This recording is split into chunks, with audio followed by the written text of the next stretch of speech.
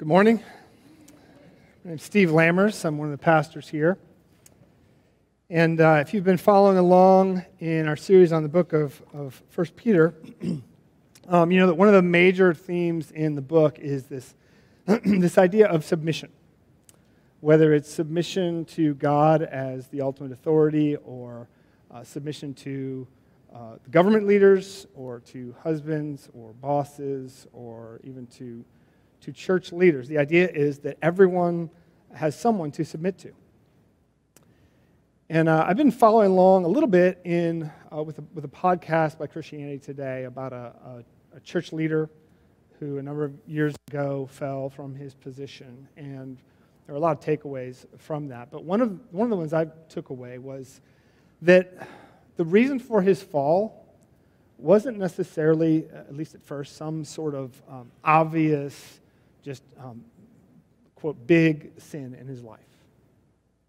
It was this I am the boss. Uh, I am not going to allow anyone to uh, speak into my life and care for me and shepherd me. Uh, I'm not going to submit. Submission is for other people, not me. And, and looking back on that, a, a lot earlier, it should have been a red flag for us. And, um, and I don't even know if you know the situation. We don't need to share the situation. The, the, the point is, as we look at our own lives, as I look at my life and, and I think about um, how we tend to see submission and see authority, it ought to be a, a big red flag. And so, my prayer this morning is that we would look at submission, we would look at authority, not as like these dirty words to avoid, but as uh, the expression of the love of God, our chief shepherd, who in, in his love, in his mercy, he gives us under shepherds called elders. So, let me pray uh, before we look more closely at this text. Father, even as we want you to speak to us this morning, we are aware of uh, just so many obstacles to hearing you, to really hearing you. And Lord, it could be that there are men and women here or young people here who have been wrongly treated by a church or its leadership. Uh, maybe even our church and our leadership, we, we don't know. Um, and that can be a huge obstacle to, to hearing this word. Uh, or it may be, Father, that it's simply the obstacles of our own hearts, that we just don't want to listen to any authority. I know that is so often, way too often, the case in my own life, and in particular uh, lives here. And so, Lord, forgive us for that. And uh, whatever the obstacles are that get in the way of us hearing you, would you remove them now? Uh, would you enable us to, to wherever the words that I say align with your word, uh, enable us to hear them, enable us to, to have our hearts softened and to be able to rejoice in you for what you've given us. Uh, we ask this in Jesus' name. Amen. I was at a, a, pastor's conference a number of years ago. Uh, it was in Colorado. It was this. Uh, it was, it was sort of a really informal type of conference. Most of us knew each other and uh, really just loved and respected each other. And so we'd go on hikes together and that sort of thing. There was just all this, these opportunities to, to share together and pray together, and uh, a lot of times we mostly share the mistakes we've made. And one of the, one of the opportunities that, that really stuck out to me was this group, uh, was even smaller group that got aside. I mean, it was like 10 of us. And we're kind of sharing back and forth. And there was this older pastor there, and um, we just all respected him so much. And what stuck out is just the humility in which he was sharing the mistakes he made. So we were asking about it, and, and he said, Well, I'll tell you, you know, I've, been in ministry for about 30 years, and uh, one of the things I'm finally just now starting to learn is, is to, to be a little quicker and a little bolder to show people uh, the issues in their, to help them see the issues in their own lives.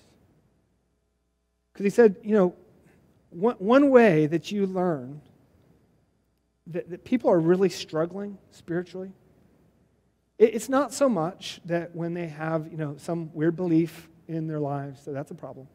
Uh, it's not so much that they've got some wrong practice in their lives. It is when, if, someone in their small group or someone in church leadership goes to them and confronts them about those things, if they're unwilling to receive correction, you know there's trouble coming.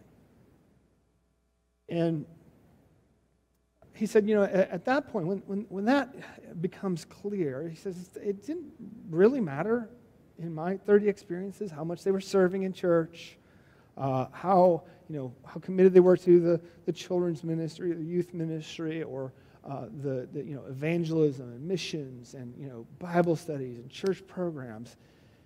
He said, that if there is not some sense that when they are corrected, there's not some sense of, yes, thank you, God, that you have given me leaders, that you have given me people who can speak into my life and, and shepherd me and correct me. If, if, there is not some sense of that, even in, in seed form,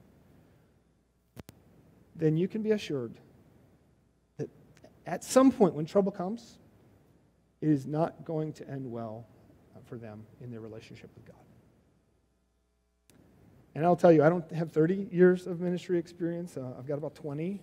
And um, I'd say that just really rings true to me. And so, what I want to do this morning is, is look at uh, w- what we see here is that, that one of the ways in which God loves us is that He, you know, as our chief shepherd, He gives us under shepherds uh, to care for us. He gives us uh, elders. And so we're going to look at two things about elders here. We're going to look at the plurality of elders and the oversight of elders. Plurality and oversight. All right, first, plurality. And I know that's a weird word. I tried to look up synonym for plurality, uh, like multiplicity. There's just not a really good uh, synonym for, for plurality, so it's just plurality. Add, add that to your everyday vocab, right? Um, so, weird word. What do I mean by that? Uh, look, look at verse 1. I exhort the elders, plural, among you. Uh, verse 3.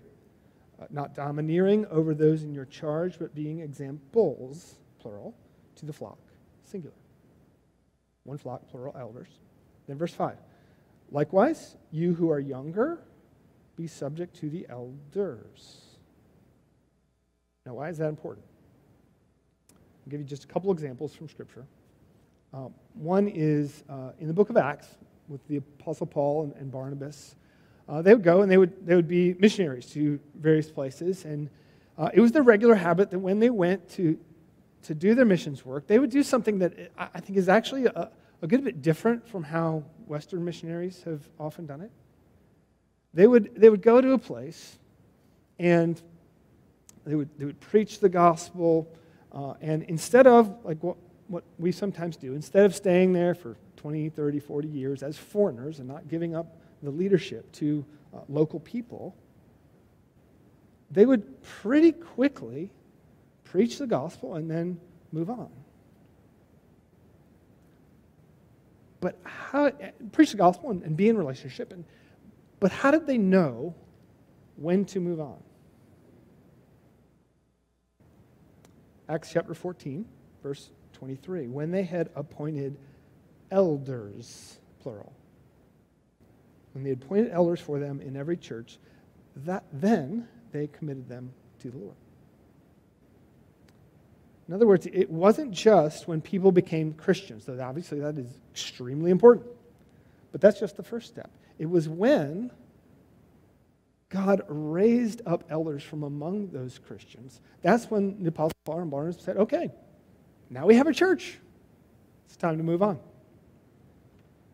Uh, another example uh, from Titus chapter 1. Uh, Paul says to Titus, This is why I left you in Crete, so that you might put what remained into order. Okay, so there's this, uh, this loose knit group of Christians, and Paul says, I want you to put what remained in order. Uh, how was Titus to put what remained in order? What would that mean? He said, Paul says, appoint, what do you think? Elders. Appoint elders in every town as I directed you. Okay, let me, let me, let me put it maybe a different way. Um, when is it that a small group Bible study or any Bible study becomes a church? Is it when you know it gets a little bigger and you start singing and praying, or um, you know, uh, doing better evangelism or something? Is that it? Um, is it when some sort of very charismatic leader says, "All right, it's time"? Uh, and you know what? Since I started this church, you're going to follow me, and I'm going to be kind of the guy, and we're going to just, we're going to take it. No, it is when God raises up elders to shepherd that flock. And they receive the laying on of hands. Multiple elders. And, you know, this is really important even when a church gets to be our size and we have multiple elders. It's really important for us to, to continue to remember that, that the authority in a, in a church does not rest in, you know, Steve Lammers. Uh, I like to say Steve the Lesser. Uh, it, uh, it, also doesn't reside in Steve the Greater, right? Uh, it doesn't reside in, in Mike Roop, uh, Ken Kurtzel. I'm just looking around. Uh, Jay Lynch. I could mention others, godly men. We're glad they're here, right? But, but the authority for a church resides as we dwell in community as elders. And by the way, you know, this is one of the reasons. I mean, even as I just see Mike get up here and I see Steve, and I, this is one of the reasons I love um, the, leadership of this church. I love this idea that we have a, a shared preaching responsibility. And it's not, you know, it's not like that's the only way to do it. There, you know, certainly you can have a lead pastor who preaches the vast majority of the time. That, that, that's fine. But, but for us, one of the ways that we're trying to express this, this sort of plurality of elders. Um, one of the ways, actually, frankly, we're trying to hold each other accountable is, is by saying, hey, you know, we're, we're going to share the preaching so that there isn't like one super pastor who's going to be the guy. All right, so that, that's the importance of, of the plurality of elders. Uh, what about the oversight of elders? In other words, what's, what's the job description of elders? Uh, Peter says it in verse 1 and, you know, sort of on at the end of, or beginning of verse 2. He says, I exhort the elders among you uh, to, eventually what? Shepherd the flock of God. Shepherd the flock of God. So, so what does it mean to, to shepherd uh, or to, to be an overseer? Uh, at least a couple things. First one is authority. we've already sort of mentioned that, and, and we need to unpack that a little bit because uh, there's just all sorts of misunderstandings of authority, right? Um, and, you know, we need to say that, that all authority uh, from sinful human beings with sinful human beings, all, all authority is derivative. In other words, it's not like we just show up and say, okay, you know, we're, we're in charge now. We have this like right to, to rule inherently and, and because of who we are. No, our authority derives from God's authority. And the more that uh, we are like Him, the more it validates our authority. The more we are unlike Him, the more it invalidates our authority. And that's important. We see that in multiple places. But, but look again in verse 2. Peter says to the elders, Shepherd the flock of God. God's flock, okay? So shepherd the flock of God that is among you, exercising oversight, not under compulsion, but willingly, as God would have you. Not for shameful gain, but eagerly, not domineering over those in your charge, but being examples to the flock. Okay, there's a lot there we could unpack, but the main thing I want us to see is the it's what? It's the flock of God. It's not the flock of the elders, it's the flock of God, His church. And you know, uh, I thought about this a lot when I was the lead pastor at Faith Church. Because oftentimes what would happen is, you know, I'd be out sort of getting to know people. I'd be at the soccer field watching my girls play, or um, I'd, I'd, be following up somebody who had visited the church. And, and a lot of times they would say things like, hey, you know, I, I really like your church. Or as I'm getting to know somebody, hey, tell us about your church. And, um, you know, I, I, never corrected people because, I mean, I use that language. It's just sort of everyday language, right? Um, we use the phrases your church, my church, those sorts of things. And yet, every time I heard it, it was just a little bit unnerving because the language you use oftentimes sort of trickles down into our heart uh, understanding of it. And if we move into this idea that somehow this is a particular pastor's church, is my church, well, we, we run into dangerous territory because it is the church of Jesus. It's Jesus' flock. And then look, look at verse 4. Uh, Jesus is referred to as the chief shepherd. When the chief shepherd appears, you will receive the unfading crown of glory. And again, uh, we, we, can't get into all that. Praise God, elders among you. Uh, there is uh, an unfading crown of glory awaiting you, right? Not because you've earned it, because He crowns His own uh, works in you and through you. Um, praise God. But the, but the thing I want us to see is that Jesus is called the chief shepherd. Now, this is huge because because where is it that Peter got this idea that Jesus is the chief shepherd? Uh, remember, Peter was there when Jesus in John chapter 10 was describing himself, and he was saying, You know, there's some shepherds that when the wolves come, they scatter. Uh, and by the way, he, he, later describes how, you know, not everybody who um, is claiming to be a sheep is actually a sheep, some are wolves. But he says, you know, some shepherds, when the, when the wolves come, they, they scatter. Not so with me. He says, I am the good shepherd. And what's the ultimate expression of how he exercises his role as the good shepherd? He says, the good shepherd lays down his life for his sheep. And then, then he says something really fascinating in the context of that, that passage. He says, Actually, I have authority to do that. No one takes my life from me.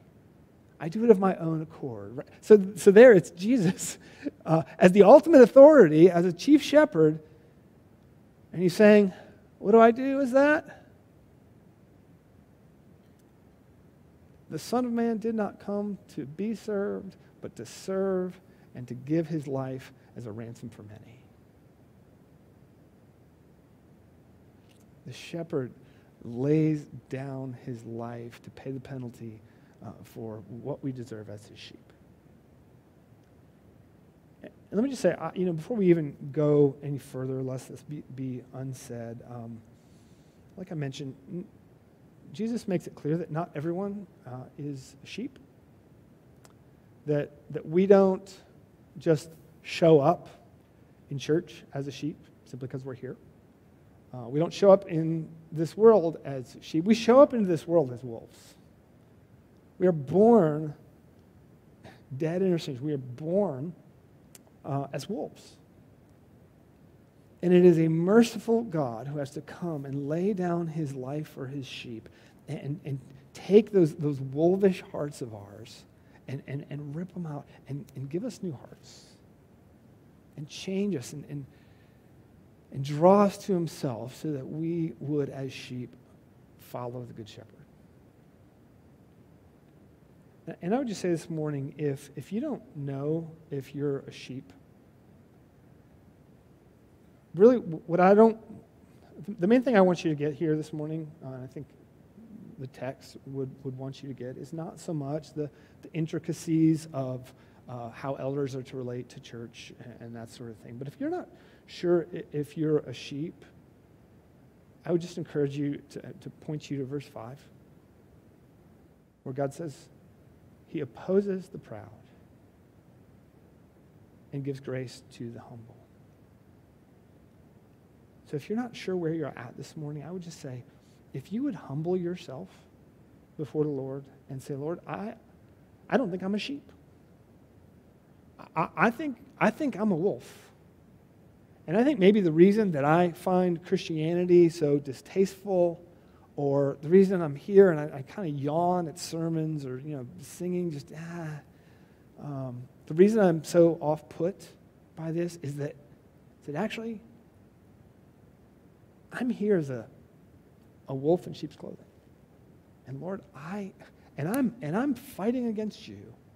And I, I need you, Lord Jesus, to change my heart, to grant me faith, and to grant me repentance. So, Lord, would you, would you do that? Okay, listen. Um, that's humility. And, and the text makes it clear that if you can come to him like that, God gives grace to the humble. He, gives grace to those who would simply admit their sin, admit, oh, I, I desperately need a Savior because my sin is ugly and I deserve hell. And, and I, I need your grace. I need your undeserved favor.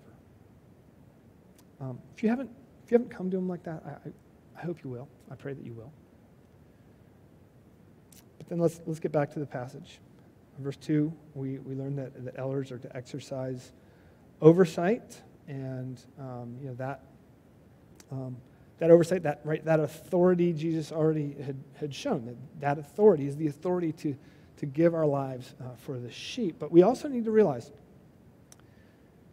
that authority is real authority. Right? It's not pretend authority. It's not like this theoretical authority where we can go, ah, you know, the elders, that, that's one opinion. They're kind of dumb. I'll, I'll just kind of do my own thing. No, it, it's, it's, actually, it's actually real authority.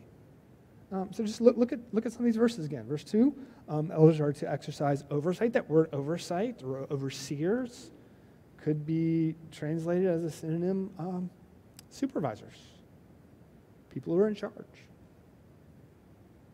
Verse 3 um, says it explicitly not domineering over those in your charge. Now, there's two sides of that, right?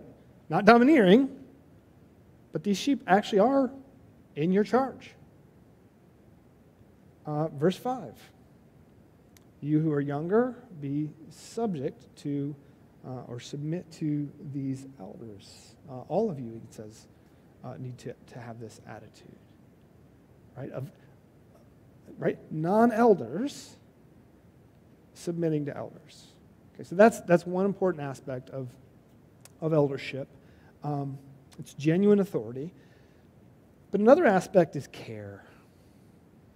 Just, just genuine care, not care for the sake of, of getting a paycheck, which all pastors are, are, are tempted toward. Not, not care to make ourselves look good, um, but just willing, tender, uh, genuine care. Uh, and we see this throughout the text, but what really caught my eye was in verse 1. Peter says just, just this incredible thing at the beginning. He says, uh, I exhort the elders among you as a fellow elder. the reason I think this is so amazing, this is coming from the apostle Peter.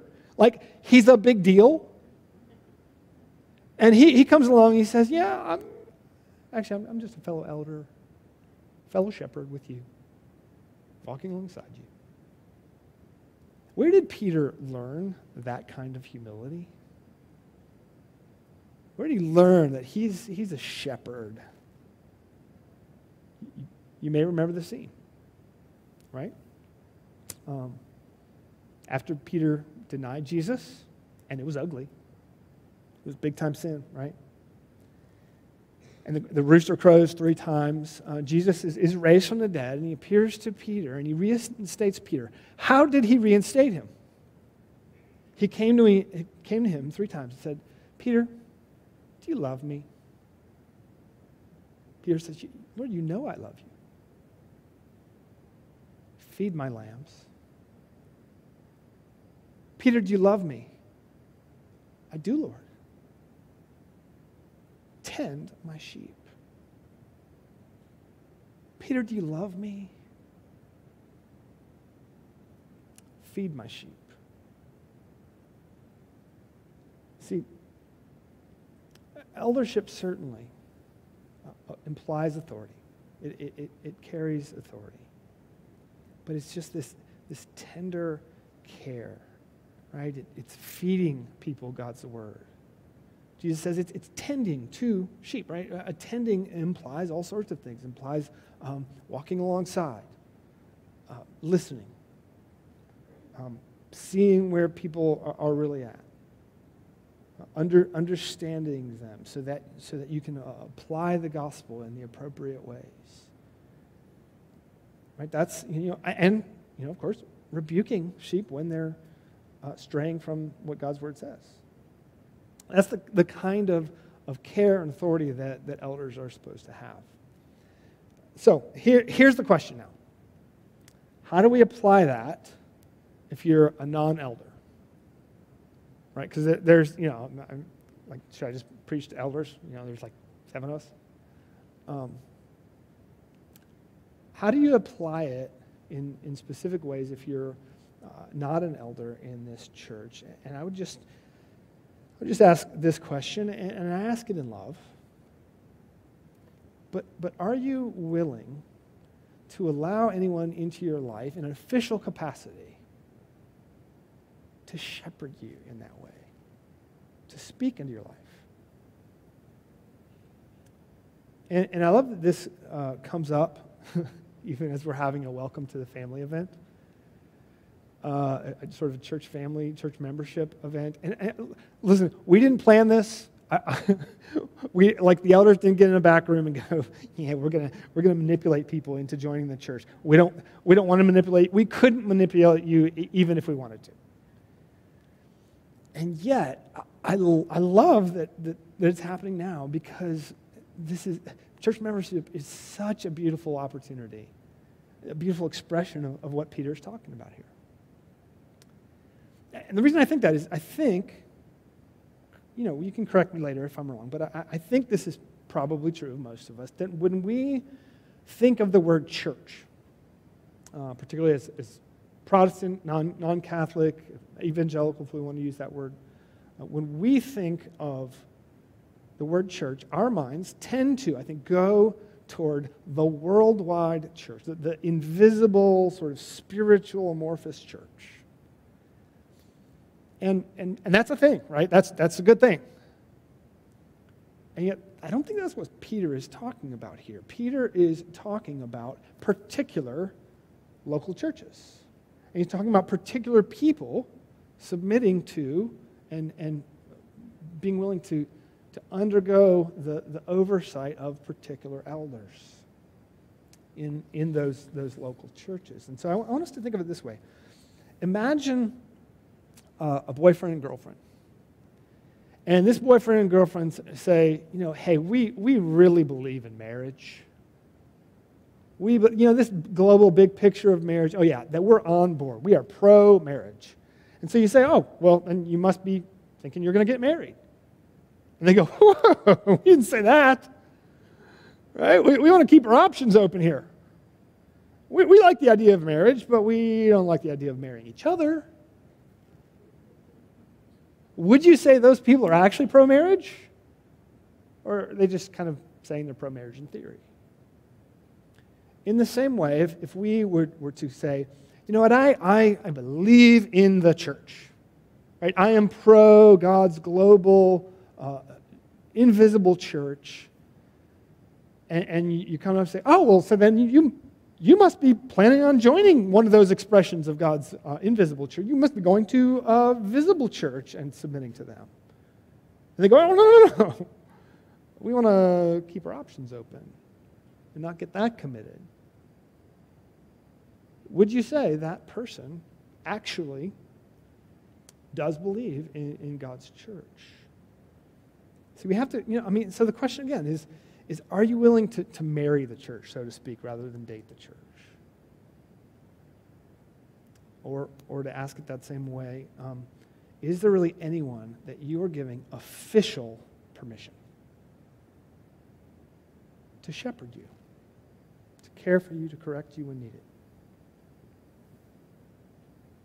Because here's the thing, and I've seen it big time in my own life. It is usually the case that when we most need shepherding, that's when we're least likely to ask for it. or want it. Uh, I was thinking about this even just this past Wednesday, that this is so true in my life. Uh, I was having a rough day. Uh, I was having a rough, like, several days or week. I was just getting frustrated with things, and I was, I was cranky. Um, to, that's kind of to put it nicely. Uh, ask my family. I mean, I was, I was like snapping at them for little things. Um, there was no gratitude in my life. I think it expressed it maybe even in, uh, in staff meetings or conversations I had. I was just down and and I was kind of being a jerk, okay? And um, so, but there we are. We're, we're in staff meeting on Wednesday, and uh, Steve, I didn't talk about this, but I'm going to share. I'm going to share a story. Um, yeah, he, he does that a lot. You know, fair game. Um, uh, so we're, um, we're, we're in staff meeting, and Steve's uh, asking uh, for prayer requests, as we, we almost always do. And uh, others had asked, and others had asked for prayers. And, and so it came around to me and said, Steve, you know, what do you want to pray for? And I, I don't remember what I said, some, something really shallow, I'm sure. Uh, and so we, you know, and then we went on to somebody else, and, and somehow he circled back around to me.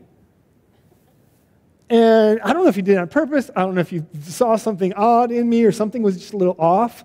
Uh, but he said, You know, Steve, is there anything else that you want to pray for? And there was a part of me that said, Yeah, back off. You know? Um, but he was just being a good pastor. So he's probing a little bit. And, and I said, You know, actually, there is something. And uh, I need God to grant me repentance. I need to turn to Jesus in this because it is not good. And, um, and actually, later, someone in my one another group asked for prayer requests. I'm like, crap. uh, and uh, so I shared something similar.